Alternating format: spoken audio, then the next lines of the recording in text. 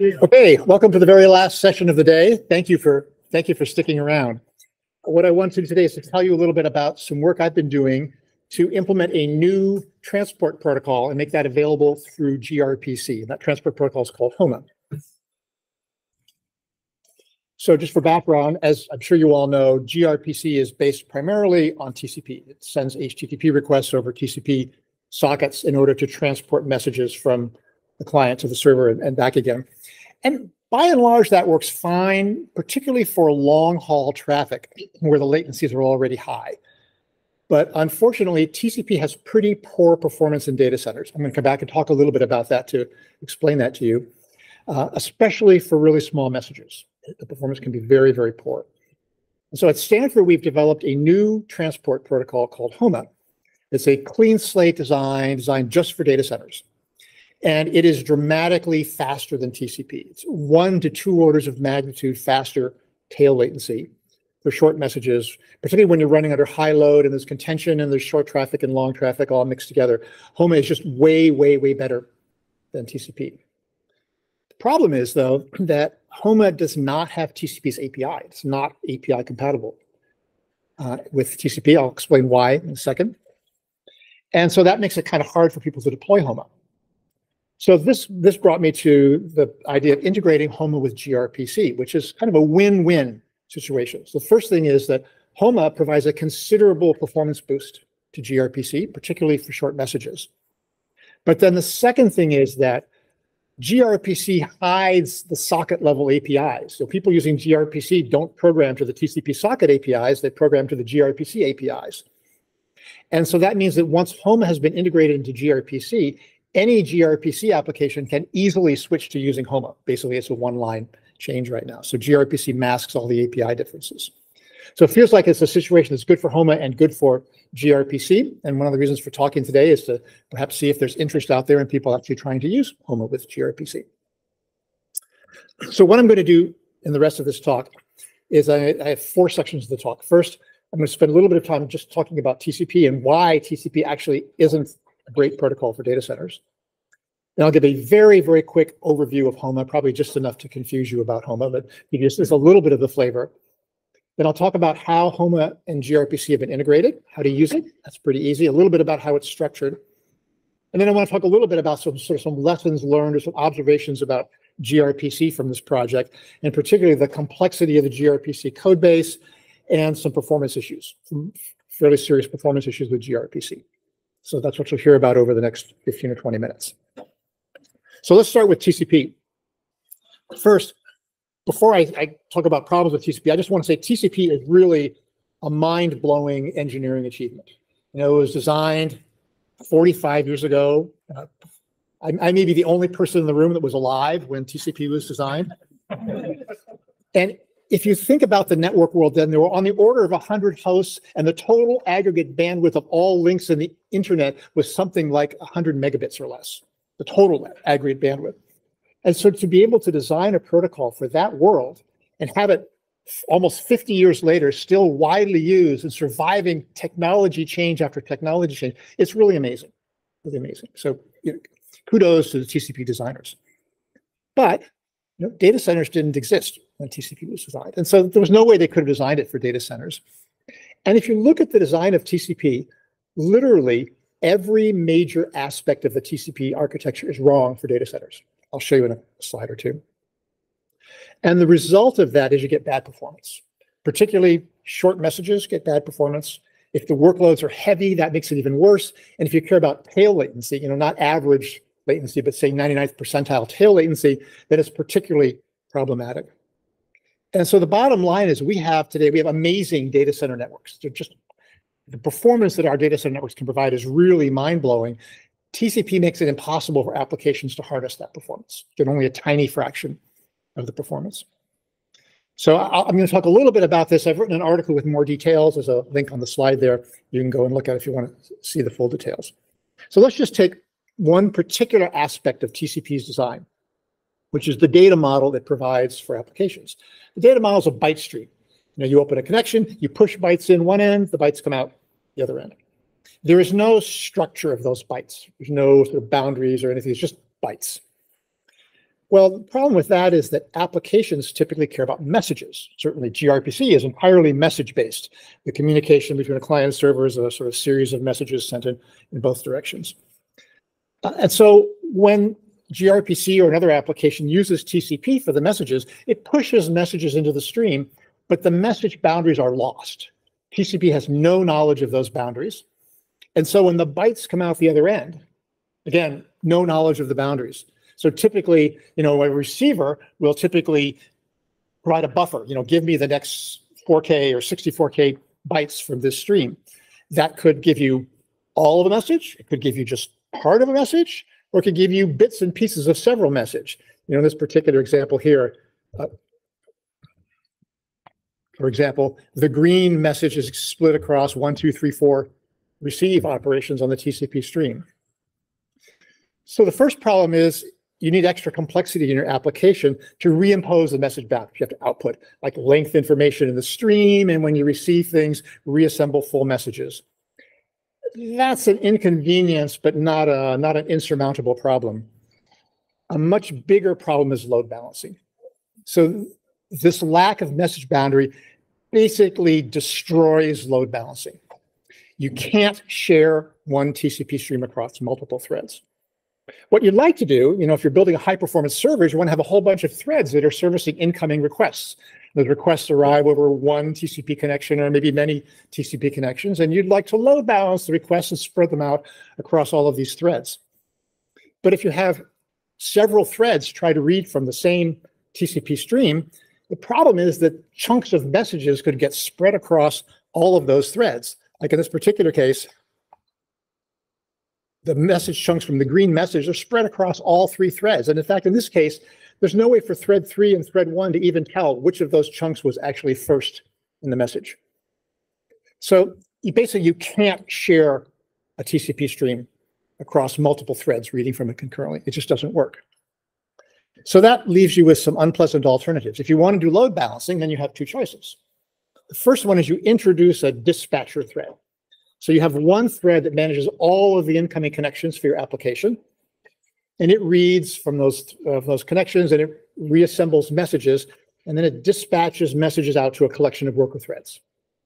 So you can do that, and that gives you the load balancing, and it deals with the problem about no message, you know, that you can't receive uh, from one connection with multiple threads, but it has a couple of problems.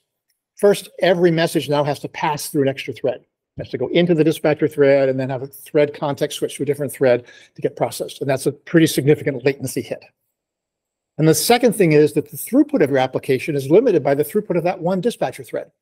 Fundamentally, you can only handle messages as fast as that dispatcher thread can dispatch them. And that's that can be a severe limit for applications.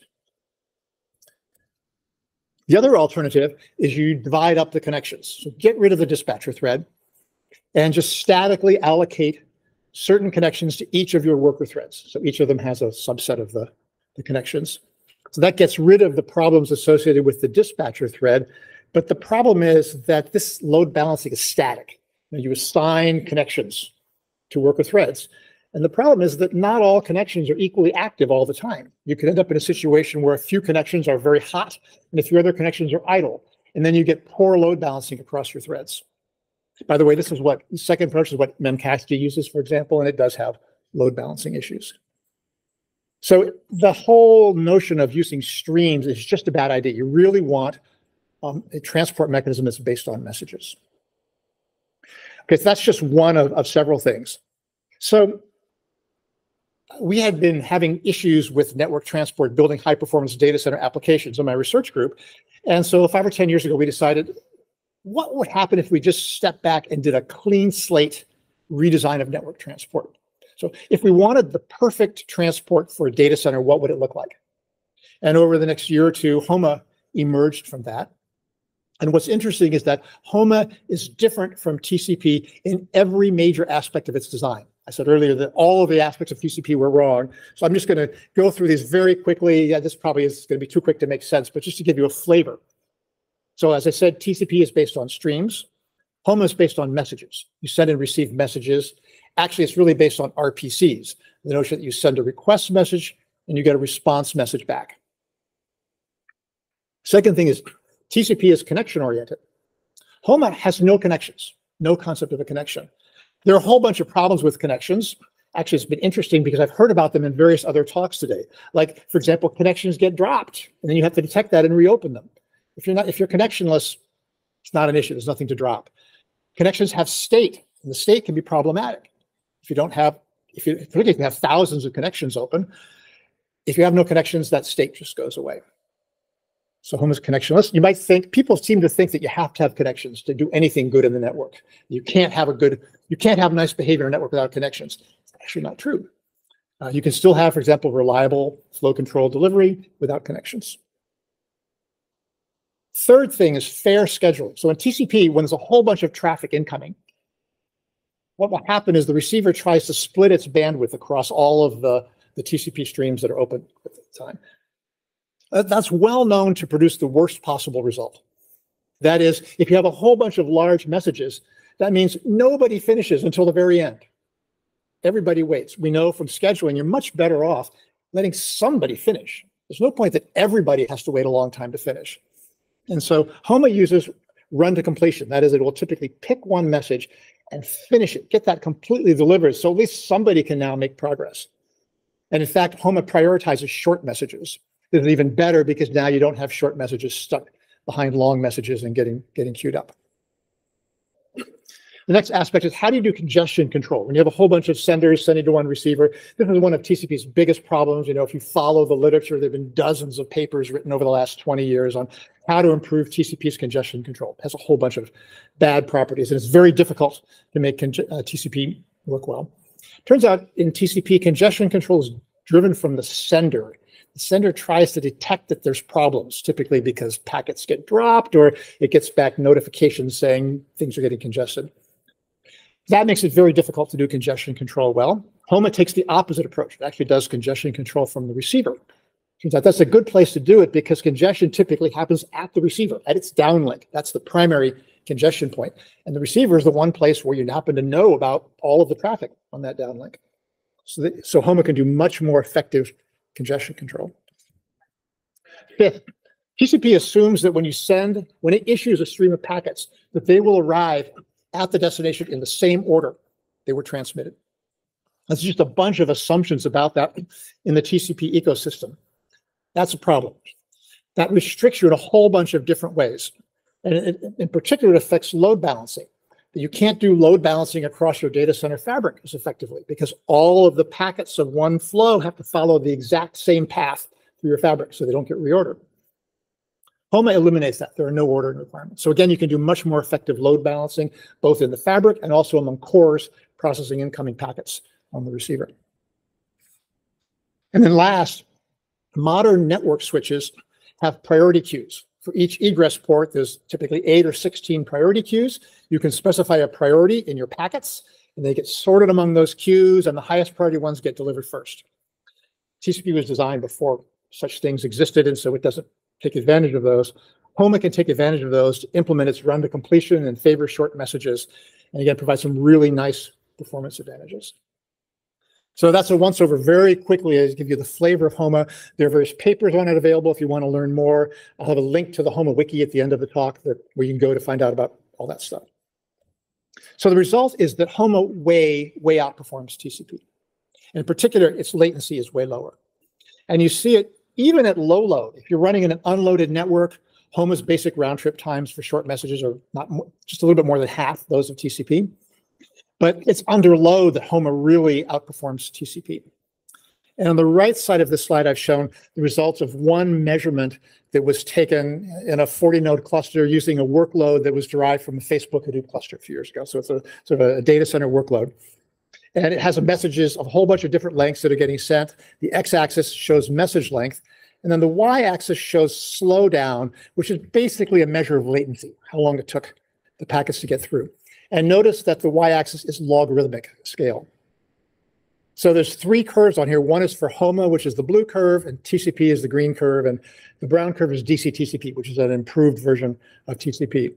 And the interesting thing is that the slowdown for HOMA is better at every message size. HOMA provides better performance than TCP.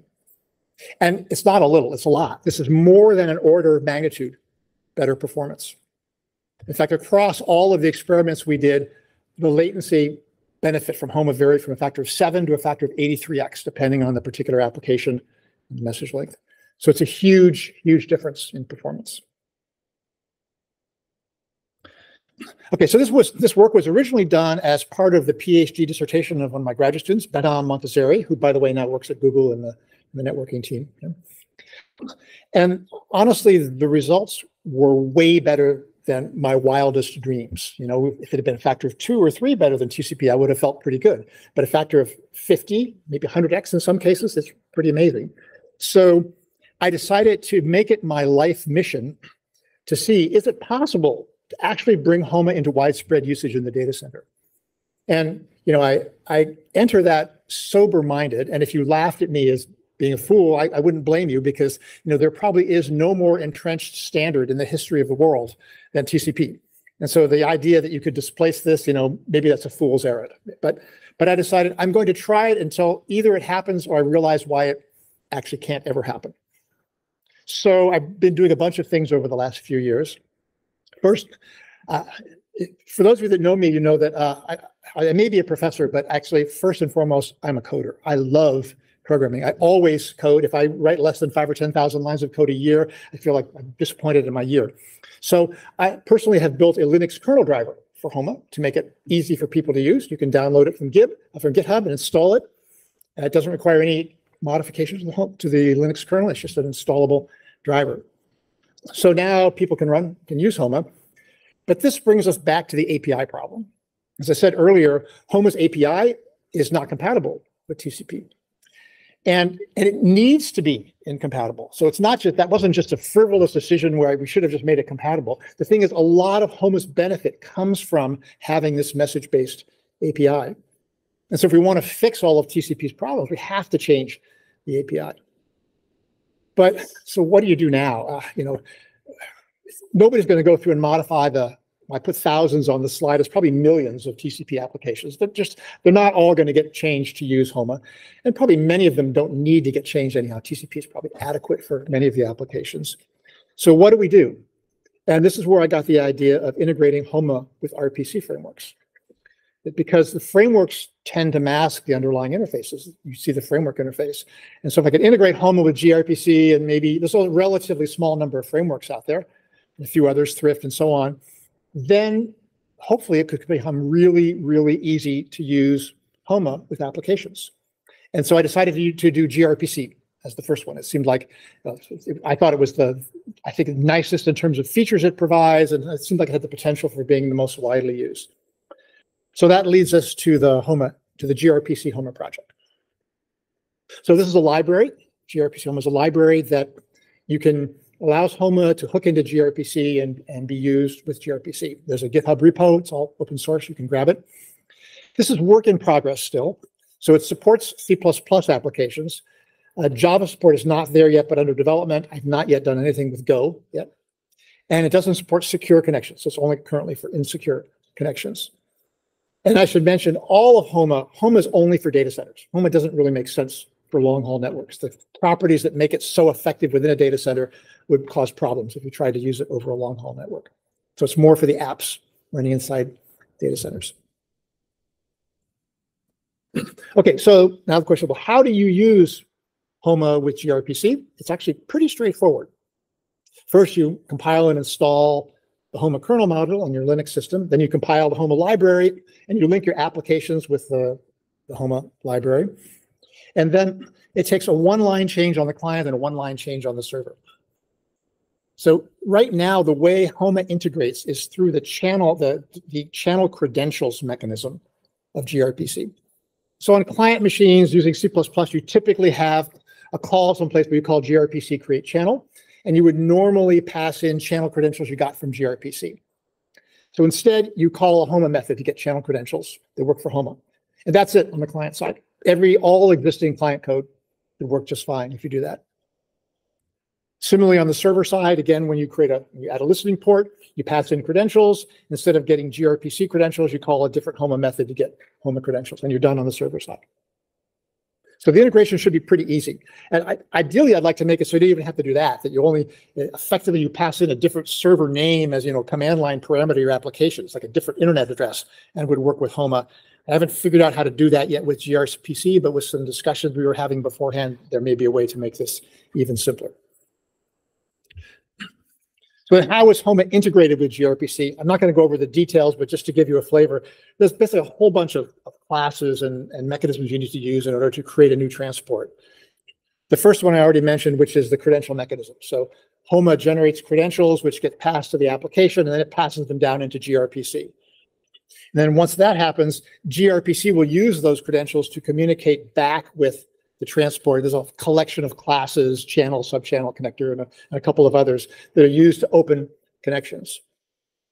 Once that's done, then there's two major interfaces between the main core of gRPC and a transport. The gRPC transport mechanism and the gRPC stream mechanism. I put those in red because those are the, the main ones. Those are pretty well-defined APIs for communication.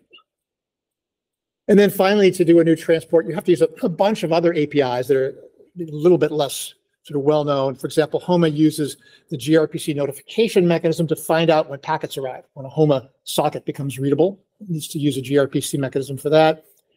There's a bunch of, of utility classes used to pass information back and forth between transports and gRPC. The slice mechanism, the metadata batch mechanism, and so on. So I'm not going to go through all of the details of those, but that gives you a very quick synopsis of, of what it looks like. So now I'd like to talk about two challenges that I encountered in working with gRPC. And the first one is the complexity of the gRPC code base. So I, have been programming for a little bit more than 50 years now, I'm embarrassed to say. And I think probably the gRPC code base is the most challenging one I've ever worked in, in my career.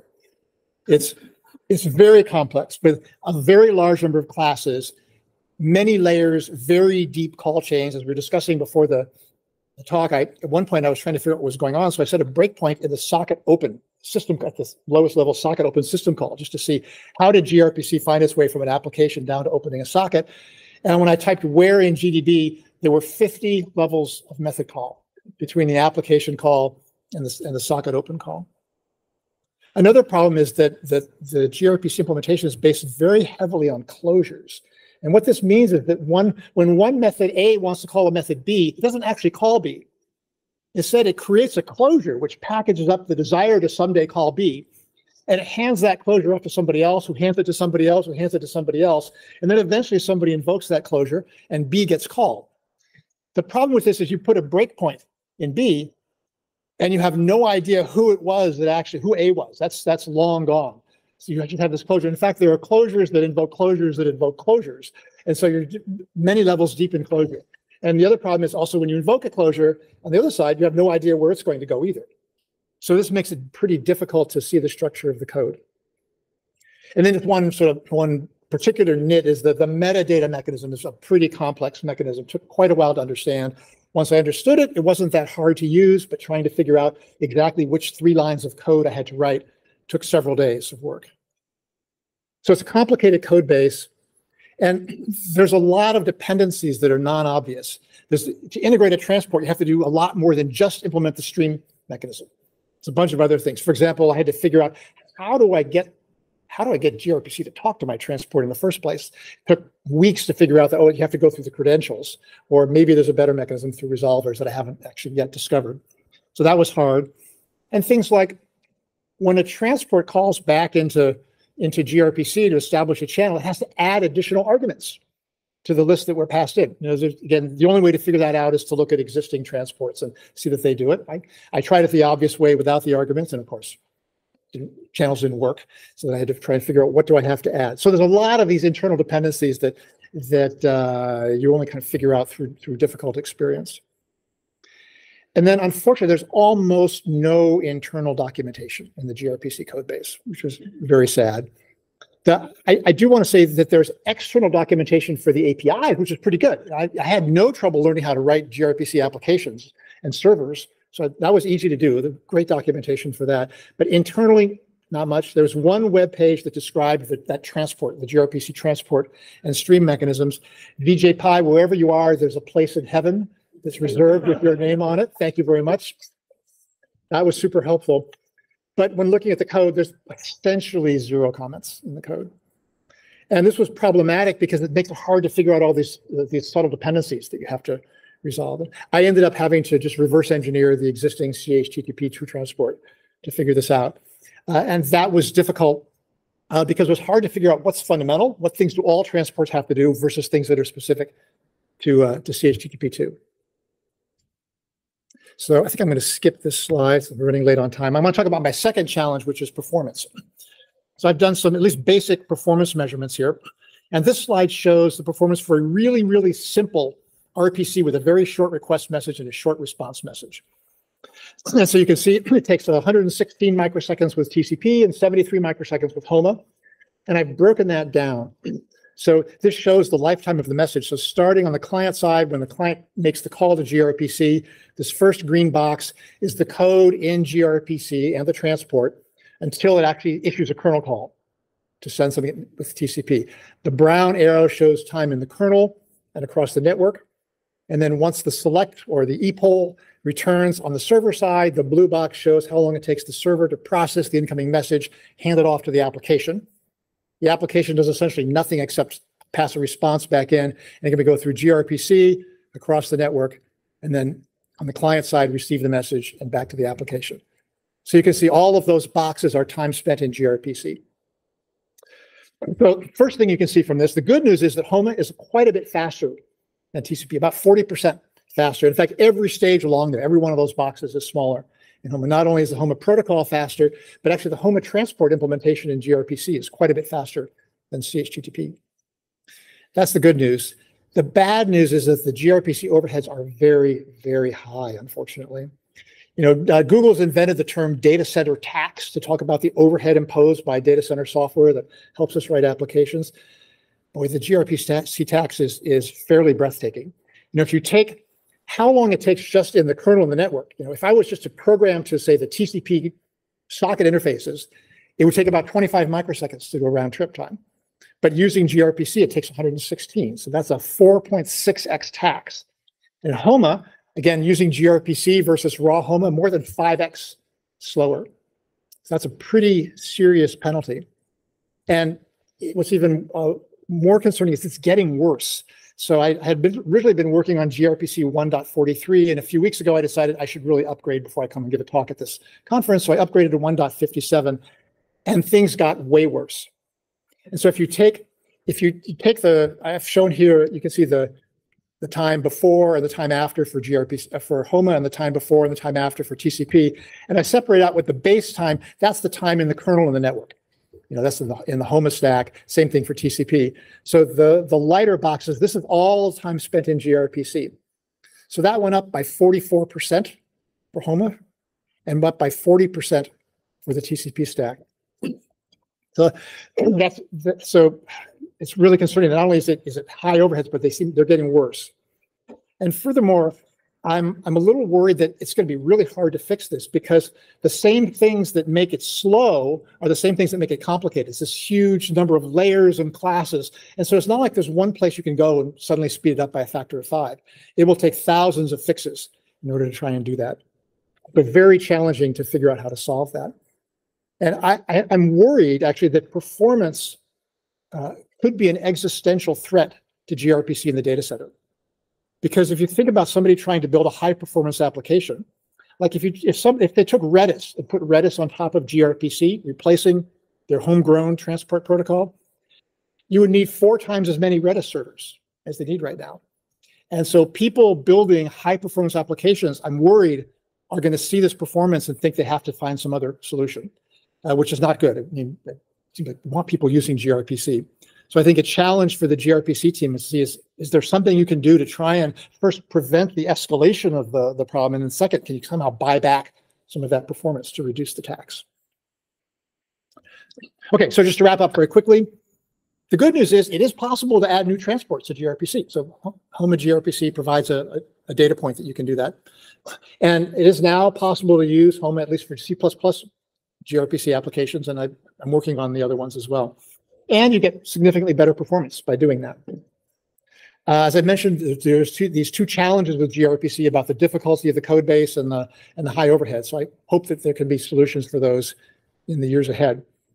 And if you're interested in any of this, I would love to have you try it out. And I will be happy to do whatever I can to help you. If you have run into any problems, I will fix bugs for you and help you resolve any issues that come up. And uh, I consider myself one of the most promiscuous computer scientists in the world right now. I really want to encourage people to use Homa, and I'm happy to do anything. And if, it, if you'd like me to, to wash your car so you have a little bit more time to work on this, just let me know where you live. I'll be over there with a brush and bucket. So try it out. And if you're really ambitious, I would love to have help on this. There's still quite a bit of work to be done. For example, I haven't even thought about Go support. I'd love to see somebody do that. And I have not addressed security issues. That's going to be another big chunk of work. If there's somebody that understands how security works in gRPC and would like to work with me on HOMA, I would love that. So again, if any of this is interesting, there's a uh, there's a HOMA wiki that kind of brings together all of the known information on HOMA in one place where you can go to to get more information. And sorry, I've run a few minutes past my time, but thank you for your attention, and I'll be happy to take questions.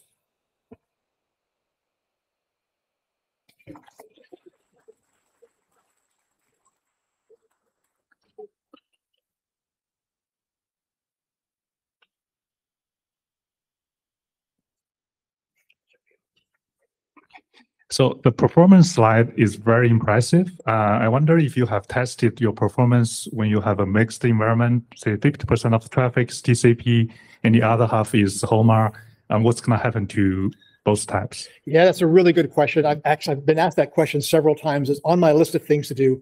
I have not done that yet. Yeah, because any any deployment of HOMA is probably going to involve a mixture of TCP and HOMA traffic initially, so need to understand that. Yep.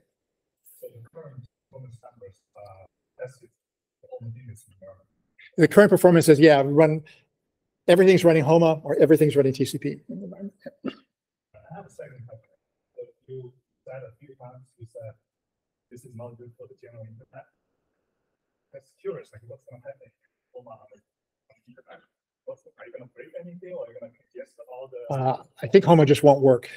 It'll, yeah, it'll just, it'll get continuous timeouts and it, it, yeah, I would not expect it would work at all because it's based on, it assumes that the latency of communication between the two endpoints is low enough that it can do really rapid exchange of information in order to manage connections. And that latency becomes milliseconds. It won't work very well. It'll be some combination of very, very slow or just not functional.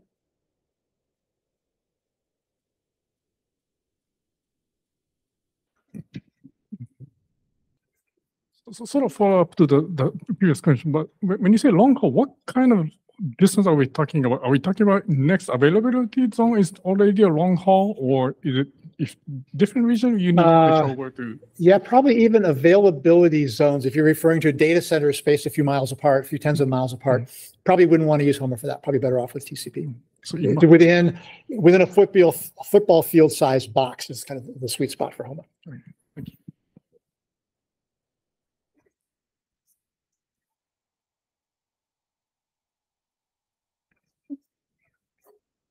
Uh, so, uh, am I understand this correctly that uh, the most benefit of, of using HOMA is for latency, but how does it affect uh, TCP usage? Uh, sorry, CPU usage? Like uh, if the bottleneck in our case is CPU utilization and not latency, would you still advise us to use HOMA? Uh, yes, yes. In fact, because the reason, well, the improved latency comes from two things. Part of it is it's avoiding congestion in the network, but part of it is it just uses less CPU time than TCP as well. And in particular, if you go back to the to the earlier slide, well, you know, and and you compare the effect here. Again, all of this difference between TCP and HOMA, that 116%, almost all of that is reduced CPU time. Well, actually, 11 microseconds is in the network, although some of that's in the kernel. And then, sorry, and then the rest of that is all reduced CPU time. So this will actually affect throughput as well, because HOMA uses less CPU time. Okay, thank you. Um, what's the length of the header, uh, the HOMA header, and how small is too small in terms of message length? Uh, the length of the HOMA header, it's on the order of 50 bytes, I think. It's a little, I think it's a little larger than the TCP header. but not, it's less than twice the length of the TCP header. And how small is too small in terms of the message, the payload on the HOMA? You can have a one byte payload. You're still going to pay 50 bytes of header. So, you know, Because I, I come from the ATM world when ATM link layer protocols existed. Um, you had uh, 64 byte cells and 16 byte headers and 48 bytes of payload. And all the service providers, when they adopted it, um, they shut it down because of the size ratio of the payload to the to the header was was very cost prohibitive for them to scale up. Yeah, so I think this depends on how big are the messages people are sending. And, and my sense is that um, it's pretty common to see messages in data centers that are less than a kilobyte. That's very common. To see messages that are less than 50 to 100 bytes is probably less common. Uh, but, but the header overheads will be more expensive for those, uh, for those short messages.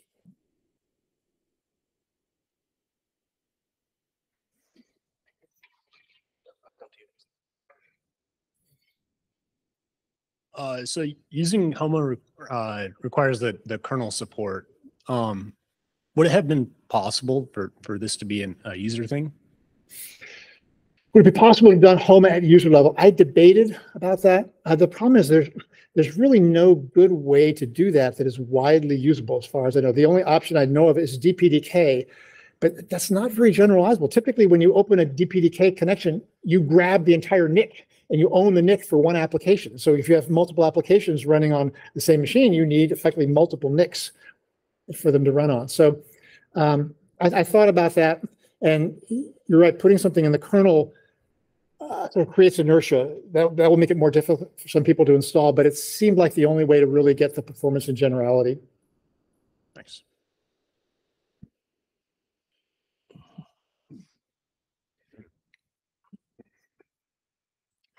Thank you for uh, a very nice presentation. We'll definitely follow up uh, regarding these uh, performance uh, measurements that you have done, and we'll want to understand and replicate and hopefully benefit from some of this work.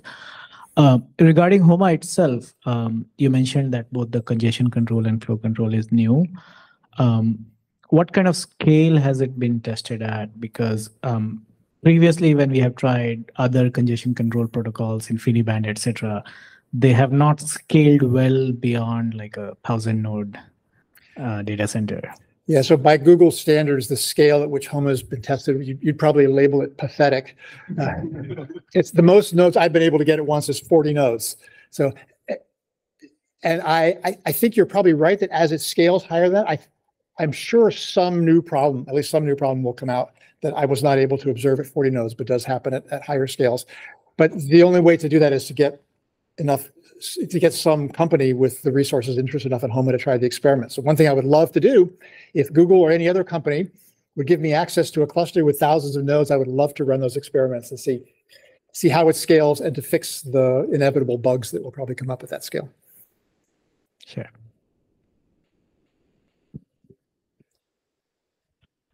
Um, as Abhishek said, we would like to follow up on the performance issues over here, especially the gRPC tax. But a quick question: um, Is the data does the RPC use serialized uh, messages, or is it using protobuf?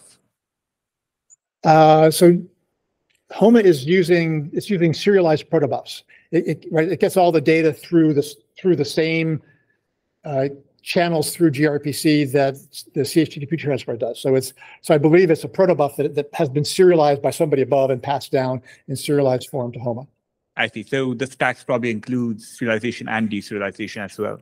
Yes, you know, actually, when I started this, I thought so. We've used protobufs before. We always thought protobufs were slow, uh, and and actually they are slow. But protobufs are basically in the noise here. Protobuf and this is maybe a microsecond or two for protobuf. I, I don't have measurements here. I did separate measurements to see how because I was wondering how much of this was protobuf serialization and deserialization. And it was on the order of one to two microseconds for the round trip. So out of you know something like uh, 100 microseconds of total overhead. So. Very interesting. All right. So what, what's the size of the message?